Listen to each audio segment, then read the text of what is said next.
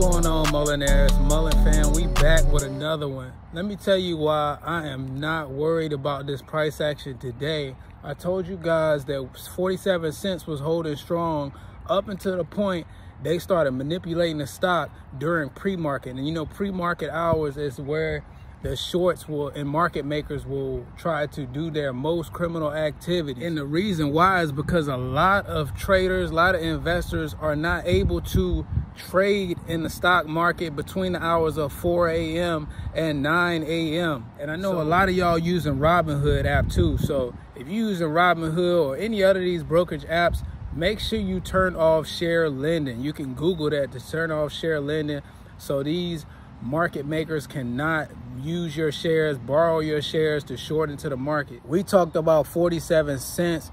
If it breaks, then it will be finding the next level of support. And right now, 38 cents, we are seeing a bounce off of I am confident that Mullinaires are holding out there. And remember, they wanted you to sell at 21 cents. Where's the 15 cent pizza guy? Mm.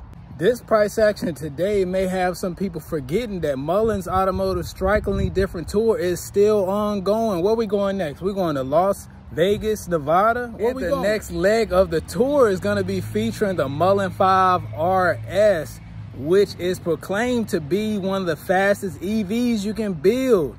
It's tour season. If you don't think David Michery has another banger press release revealing the amount of pre-orders that he's received over the course of all these showcasings, then you better think twice. An investor places five big dogs that's betting against Mullen Automotive. And guess who's on the list?